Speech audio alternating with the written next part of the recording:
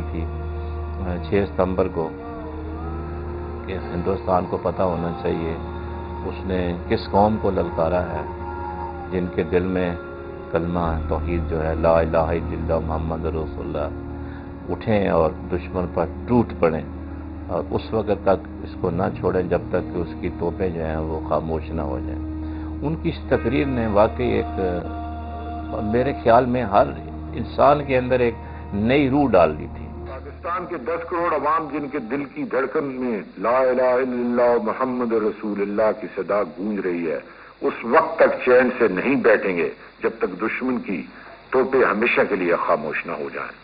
ہندوستانی حکمران شاید ابھی نہیں جانتے کہ انہوں نے کس قوم کو للکارا ہے۔ دشمن فوج کو ایسی زبردست مزاحمت کی امید نہیں تھی اور ان کی خوش فہمی ہی ان کو لے ڈوبی۔ ایسی شولا جو اعلیٰ فوج کا تو دشمن کو تصور بھی نہیں تھا۔ جو ہنستے ہنستے بم باندھ کر ان کے ٹینکوں کے نیچے لیٹ جاتے تھے۔ اپنے سپاہیوں کے حوصلوں کو مہمیز دینے کے لیے ہر طبقہ فکر نے بڑھ چڑھ کر اپنی خدمات پیش کی انہی میں ہمارے فنکار بھی شامل ہیں۔ اور جب میڈم نور جہاں نے سرحدوں پر اپنے سپاہیوں کو خراج عقیدت پیش کرنے کے لیے انہیں اپنی سریلی آواز سے پکارا، تو رگوں میں ایک سنسنی سی دوڑنے لگی تھی۔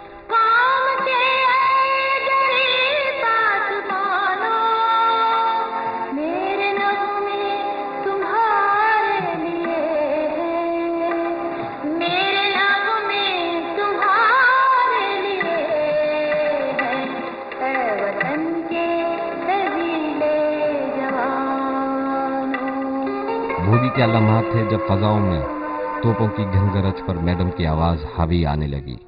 اس جنگ میں جہاں کئی سپاہیوں نے داد شجاعت دیتے ہوئے کئی اعزازات حاصل کیے، وہیں میجر راجا عزیز بھٹی نے اعلیٰ ترین اعزاز نشان حیدر اپنے نام کر لیا۔ چھ ستمبر انیس سو پینسٹھ کو آپ لاہور سیکٹر میں برقی کے علاقے میں ایک کمپنی کی کمان کر رہے تھے۔ یہ نہر کے اس طرف بیٹھے ہوئے ہیں اور ان کے پاس صرف ایک کمپنی تھی۔ کمپنی میں آپ کو پتا ہونا چاہیے، ایک سو ایک سو دس آدمی ہوتے ہیں۔ اور سامنے سے دشمن کا ایک بریگیڈ حملہ آور ہوا۔ ایک بریگیڈ کو ایک کمپنی کیسے روک سکتی ہے؟ اس کے لیے exceptional skill presence of mind اور جو جذبہ ہے، اس کو بہت بہت ہائی پیمانے کا ہونا چاہیے۔ پھر جا کے یہ بات بنتی۔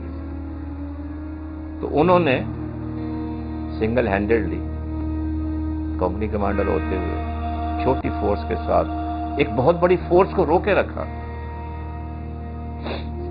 بہت بڑی فورس کو روکے رکھا۔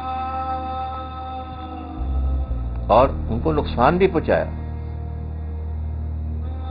اور خود بھی پھر شہید ہو گئے۔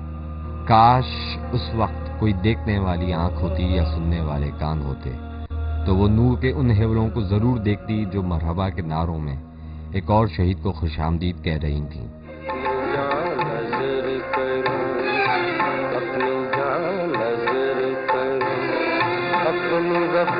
پیش کرو، قوم کے مرد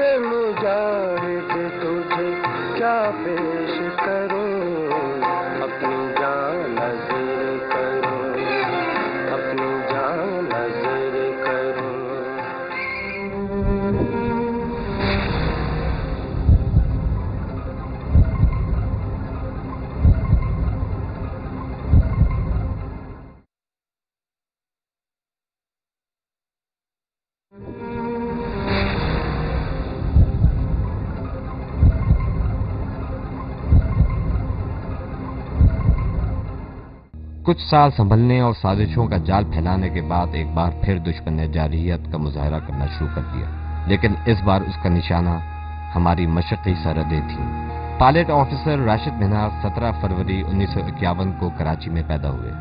بیس اگست انیس سو اکہتر کو جب وہ ابھی زیر تربیت تھے، اپنی معمول کی پرواز کے لیے جہاز کو رن وے پر لیے جا رہے تھے کہ اچانک ایک انسٹرکٹر مطیع الرحمان بہانے سے جہاز کے کاکپٹ میں داخل ہو گیا۔ اور جہاز کا کنٹرول اپنے ہاتھ میں لے لیا۔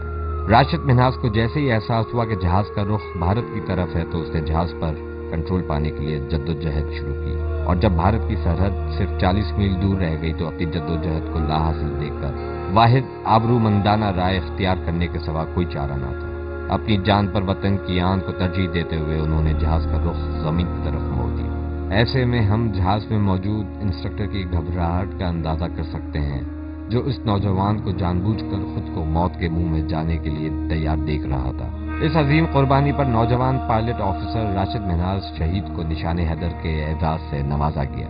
آپ یہ اعزاز حاصل کرنے والے سب سے کم سن جان باز ہیں۔ اس جنگ میں لانس نائک محمد محفوظ، سوار محمد حسین، میجر محمد اکرم اور میجر شبیر شریف پاک وطن کے وہ سپوت قرار پائے۔ جنہوں نے شہادت کی دہلیز کو چون کر خود کو نشان حیدر کا حقدار قرار دیا۔ اس جنگ کے بعد سے دونوں ممالک کے درمیان کوئی بڑی جنگ تو نہیں ہوئی، لیکن سرحدی خلاف ورزیاں جاری رہیں۔ اس کی ایک مثال انیس سو چوراسی میں دنیا کا سر ترین محاذ سیاچین ہے، جہاں دشمن نے بلا جواز اشتعال انگیز کارروائیاں شروع کیں۔ اور یہی اشتعال انگیزی مئی انیس سو ننانوے میں ایک بڑی جھڑپ کا پیش خیمہ بنی۔ جب بارہ نارڈن لائٹ انفینٹری کے گیارہ جوانوں نے بھارتی فوج کی رسد کا راستہ کاٹنے کے لیے کارگل کے مقام پر ٹائیگر ہل پر قبضہ کر لیا۔ اس قبضے کو چھڑانے کے لیے بھارتی فوج نے اس مختصر سی فوج کا مقابلہ کرنے کے لیے بھرپور لڑائی کا آغاز کر دیا۔ اس مارکے میں گیارہ میں سے دو شہیدوں، کرنل شیر خان اور حوالدار لالک جان نے اپنی بے مثال بہادری کے باعث نشان حیدر حاصل کیا۔ ہم نشان حیدر حاصل کرنے والے ان شہیدوں کی زندگی پر جب نظر دوڑاتے ہیں، تو ہمیں یہ ادراک ہوتا ہے کہ یہ ابتدائی سے خدا کے منتخب بندے تھے۔ وہ بندے جنہیں خدا نے شہادت کے عظیم مرتبے کے لیے چن لیا تھا۔ یہ وہ پر اسرار بندے ہیں جن کی عام زندگی اور کردار کسی بھی دنیاوی علائش سے پاک ہے۔ شاید انہیں بھی غیر شعوری طور پر معلوم ہو چکا ہوتا ہے کہ قدرت ان سے کوئی کام لینے والی ہے۔ شہید کی موت پر رونے سے منع کیا گیا ہے۔ شہید کی اسی لباس میں تدفین کی جاتی ہے۔ ہم ان کی موت پر نہیں روتے، بلکہ وہ جو کچھ کر گئے، اسے سن کر فرتے جذبات سے آنسو خود بخود ہماری آنکھوں میں امٹتے چلے آتے ہیں۔ سبحان اللہ، اس ذات پر جس نے اپنے منتخب بندوں کو اپنے وعدے کے مطابق منزل شہادت سے سرفراز فرمایا۔ ہمیں فخر ہے، ہماری اس فوج پر جس کا ہر سپاہی جامع شہادت نوش کرنے کے لیے بے چین نظر آتا ہے۔